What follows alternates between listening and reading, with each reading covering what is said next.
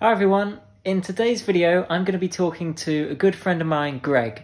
We met when we were studying classical guitar at the Guildhall School, and today we're going to be talking about his time as an Erasmus student, setting up the Happy Beigel Klezmer Orkester, and coming up with creative classical music videos.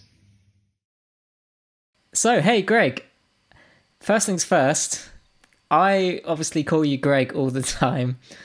How should we be saying your name? Greg is fine. My real name is, is Gergely in Hungarian, but actually no one calls me that because that sounds too official. So they call me Gergő, which is a nickname of, of my real name. Uh, but Greg is fine in English. Okay, that's great. We'll go with Greg then. Okay. Uh, so you and I both met at Guildhall. I was a full time student there, and you were there, uh, not visiting, but doing a, a year. Is that right? Two terms. Two terms with Erasmus. Yes. Why don't you tell us about how that scheme worked and why did you decide to come to London? Okay. Uh, the Erasmus scheme I think is really good because you know you can go to a university abroad in Europe and study there for a year or, or two terms or, or for one semester. Uh, so I was studying in Salzburg uh, then, uh, even though I'm from Hungary. Uh, so already I was abroad. Uh, and then I finished my bachelor without doing Erasmus. And then I started my master uh, studies there. And then I, I had this plan already before that I want to try Erasmus. So so I applied. I had to choose three cities or three universities, uh, and then I had to put them in an order. So my first option was London, the Guildhall School of Music, and my second option was I think it was Berlin, and my third option was Amsterdam. And and when I applied, everyone said, "Oh, you won't get it because everyone wants to go to these cities and it's such a big competition." So I I didn't even have big hopes, uh, but I still tried.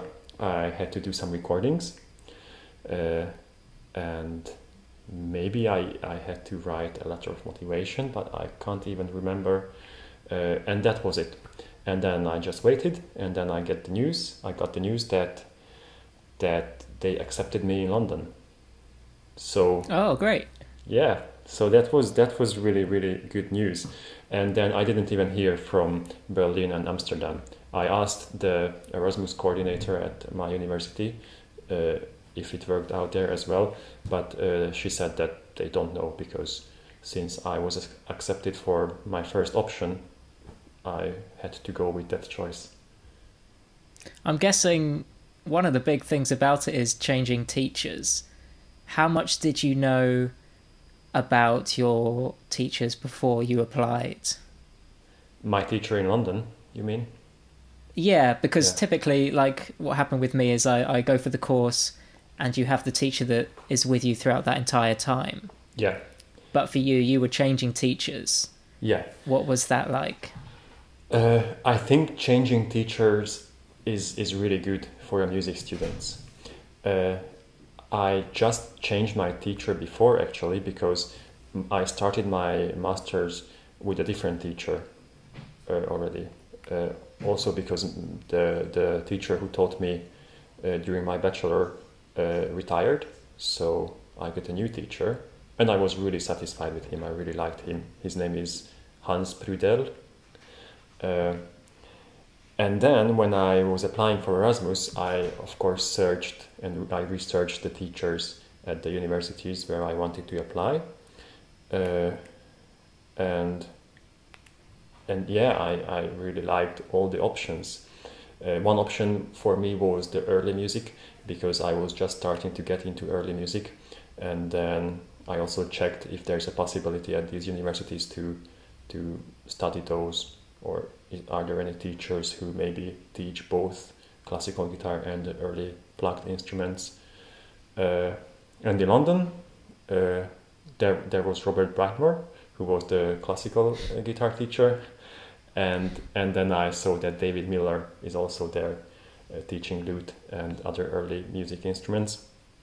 So that sounded really good. Uh, so yes, uh, after I, I I got Bob as a new teacher. uh, of course, at the beginning, it, it's it's always really really strange because you know I didn't know how to behave or or or I, I didn't really know him as a person. I I did uh, wrote a few emails to him before I went to London, but that's all the impression mm. I had before. Uh, so in the first few weeks, it was just really, you know, slow. We we had to get to know each other, uh, which was really interesting. But then in London, it all uh, what what helped uh, in London at the Guildhall School is that we had these uh, group lessons every week, and then that gave me a better idea about how the things work in the guitar class there. I mm. think those those group lessons were really good and useful. Yeah, we we did have a nice little community of guitarists. Yeah, and I, I think he fitted in quite well. Thanks. I we used really to have some good fun. And what I also really enjoyed that uh, at Guildhall there are not too many guitarists, so it was really a, a small com- community, and we knew each other and we helped each other and everything. Uh, whereas in Salzburg, uh, where I studied before, uh, there were so many guitarists. Also, there were like five or six guitar teachers, and then every teacher had a quite big class. So there were just too many guitarists. So I didn't even know all the guitarists just just by seeing them carrying a guitar case around. Mm. Uh, so I think it was much better to be in a smaller community. Yeah, I think that is actually quite unusual about Guildhall. The size of the guitar guitar department.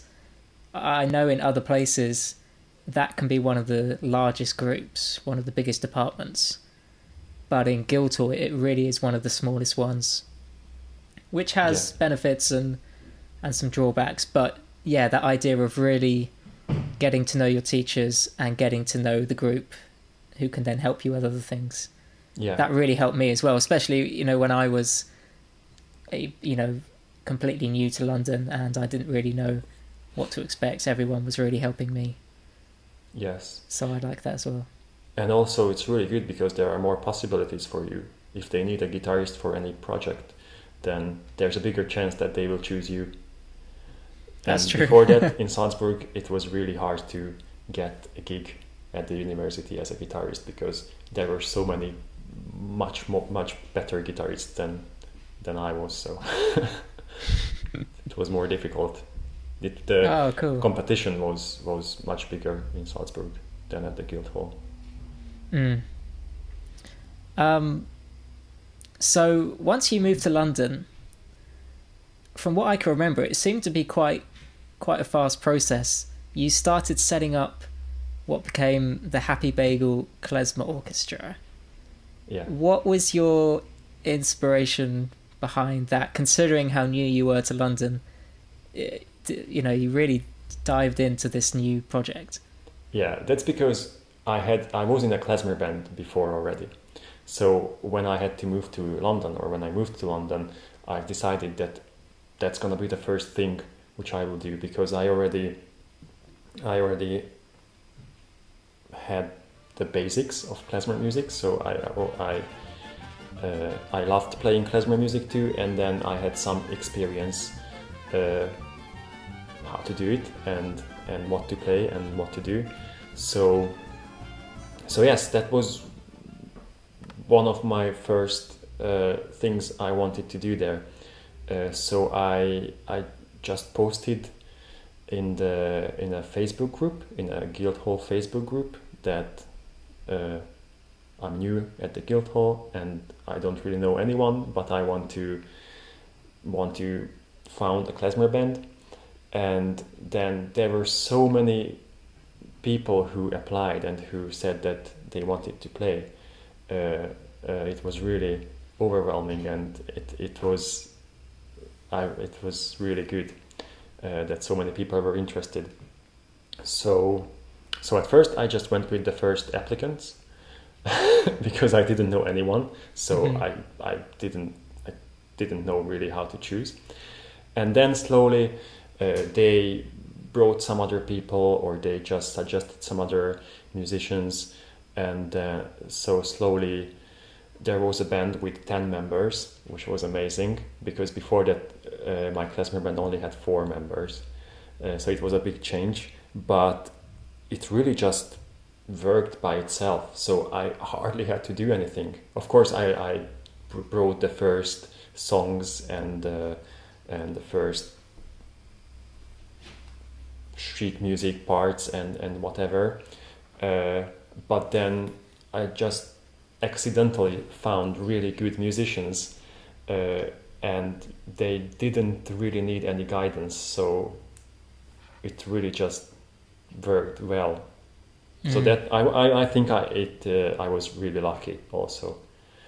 Uh, so we had our first rehearsal I don't know a few weeks after uh, and then we did some recordings too and then we started to organize some concerts and yeah that was it So how was that finding gigs to play in London? Because I imagine it would be so competitive just to find anything. yeah uh, i just started to write emails i started first of all to, to google places where where a klezmer band can play because i hardly uh, knew any places in london since i was really new there. So so yeah i just looked for some places and asked for some suggestions and then i emailed them and then most of the time of course they didn't get back to me but we still could manage to get a few gigs uh, which was really good. I remember the the first gig i got was at jamboree which then turned out to be a really good uh, uh, concert venue in london. And i remember that that uh, it was i think october or november then uh, when i got the gig. And then they offered me a date uh, for may next year. And i said okay because that was the only option. So so we took it. But my erasmus scholarship was only until the end of march. So i wasn't even sure if i'm going to be in london in may the next year but i thought okay well maybe they will just do it with another guitarist uh, because I, I didn't know if i want to stay in london or not after that. And uh, I, I basically thought that this klezmer band thing is just going to be a fun side project while I'm doing the Erasmus uh, scholarship.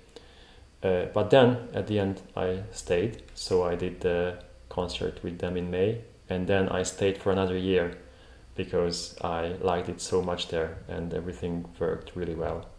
And then slowly, of course, uh, we got a few gigs for January and February too. So, so it was. Uh, I can't say that it was a slow process because it wasn't. Because a few months when you are in the music industry is not much. It's not too long. So, so it worked very well. Yeah. Now that I think of it, yeah, it Mm. was really lucky. And it was great fun. I, I remember coming along to, uh, I think, a few of your gigs. There's one I remember at Luna Yeah. towards the very beginning. And it Yeah. was just, it was so much fun to, to, to be listening and also just to be watching you. Yeah, thanks. Uh, I think that was our first real gig before, because before that we we only had a few uh, at the school, like you know, at the basement one, which wasn't really good, and then we had one gig at the Christmas festival, uh, bringing some Hanukkah spirit to the uh, Christmas festival of the Guildhall, and yeah, then at Luna we had our first real gig, where there were 10 members on a really tiny stage. It wasn't really a Mm. stage. Uh, and it was it was so much fun. But unfortunately that was also the last concert where where 10 of us played because then everything's changed it turned out that some people don't have much time so so some people quit the band but then uh, there was a six piece band at the end, which worked really well. Mm.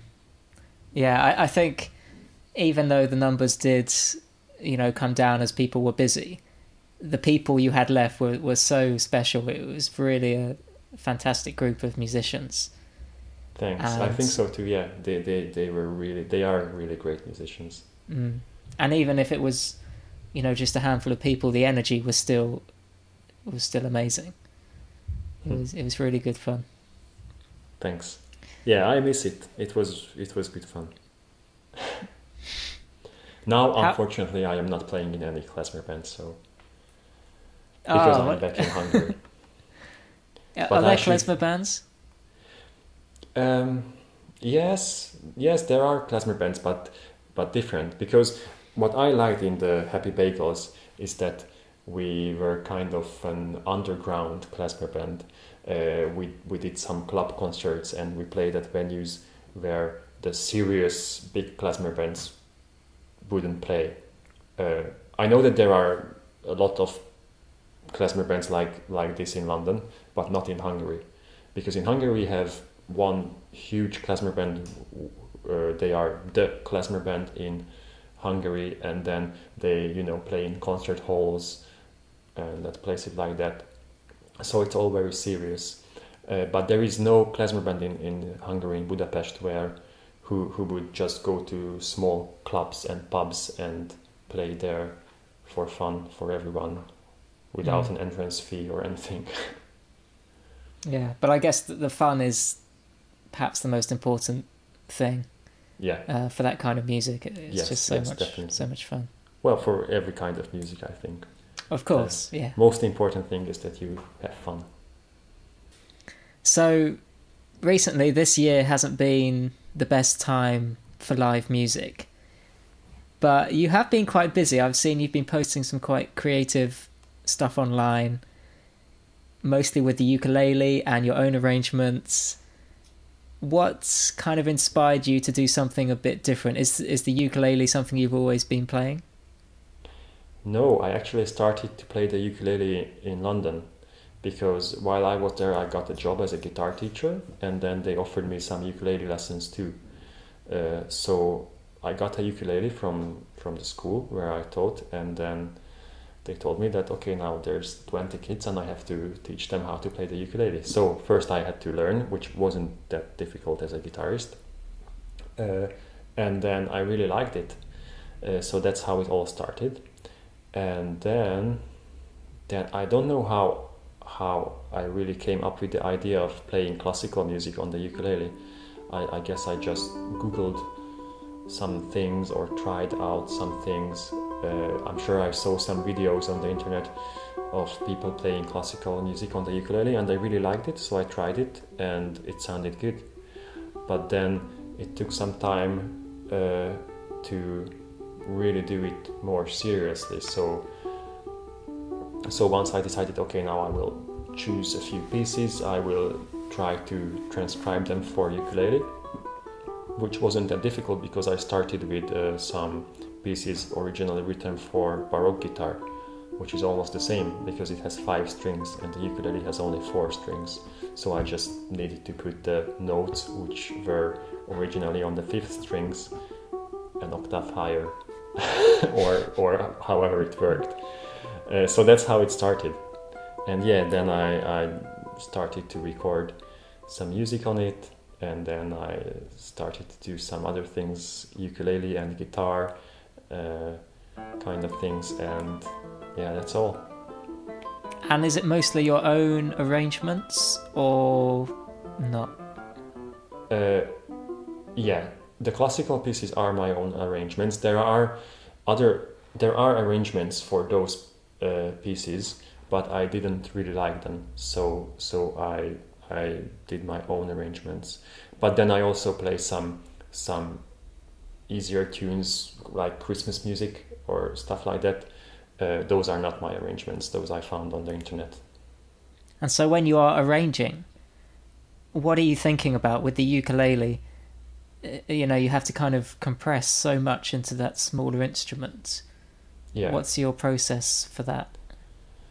Um, well, the reason I I started to play baroque pieces first is that is, is because I, I thought that Baroque music sounds especially good on the ukulele. I can't really tell why, but I've played a bit of baroque guitar before, uh, and it was really similar the the sound.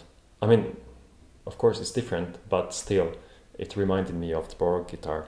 Maybe because there are fewer strings than on a uh, on a classical guitar. Uh, so that's that's why I started with those, and then uh, just recently I recorded this uh, cello piece, which was a bit more difficult because uh, because then I, I, had to think uh, how to put those uh, lower notes from the cello uh, part to the ukulele and how it could work. So because I, I it, it was a it was really I, I, had some really hard decisions to do because you know when there was a passage which went uh, down then on the ukulele i had a limited possibility. So so i had to either start from really high or just start from the original place and then jump higher at one point. So so it's not the best I know. And and uh, I asked some cello players too what they think of it, and some of them said it's good, but some of them said that they really don't like it because it's really irritating how the music sometimes jumps at a point where it shouldn't be jumping. Mm. If you know what I mean, yeah. Yeah. Uh, so so yeah, but I still try to do it because I think I think it sounds good on the instrument. So why not?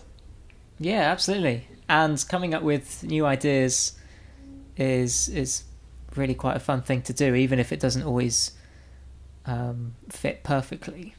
Yeah. Um, but from what I've seen, it's really working well. So thanks. Uh, I look forward to seeing some more. Have you got anything else planned for those videos? Mm, not right now. Now I just thought that I have too many videos with ukulele, so I should record something on the guitar too, because originally I'm a guitarist, so I should do that. I was maybe concentrating too much on the ukulele recently. Greg, thanks so much for joining me today. I really appreciate you giving up your time. And I think people will learn some things about your experience as well, which is really great. Yeah, thank you for inviting me for this interview kind of thing. Ah, you're uh, very welcome. It, it, it, it, it was really exciting because I just told you before that I didn't really have any interviews before in English, so so it was a challenge for me as well. And yeah. and yeah, I also hope that whoever watches this this video or listens to this interview uh, is gonna I don't know be a bit inspired to to I don't know, to try new things maybe. So either play on a different instrument or play a piece which wasn't originally written for for the guitar or for, or to another instrument or to change teachers. Because that's also an exciting uh, challenge but I think really useful thing to do uh, for a musician. And also if they can apply for an Erasmus scholarship go abroad, do some new and exciting stuff because because it is really useful and it is really interesting. And I, I think that I can say that that those two terms I had at the Guildhall as an Erasmus student was really one of the best times of my life so far. So so yeah, it was really good and everyone should try it. Oh, that's great. Thanks very much. Thank you. Thanks very much for watching. There's a link in the description to Greg's channel. Don't forget to subscribe and I'll see you in the next video.